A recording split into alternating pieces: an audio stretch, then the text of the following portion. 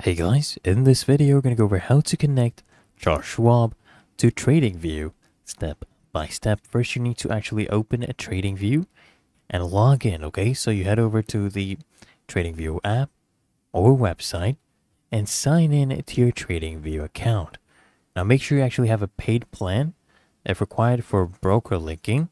And what you do guys, at the bottom of the screen, I want you to click on the trading panel tab and you'll actually see a list of supported broker. You want to go ahead and look for Charles Schwab and see if it's actually available. And if it's not listed, guys, it might not have, you know, direct integration support yet. So what you would have to do in that case, okay, is use a workaround.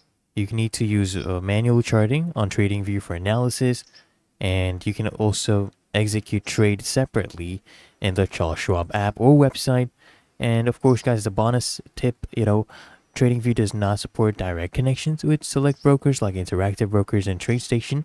So what you can do is you can consider using one of those if integration is actually critical for you.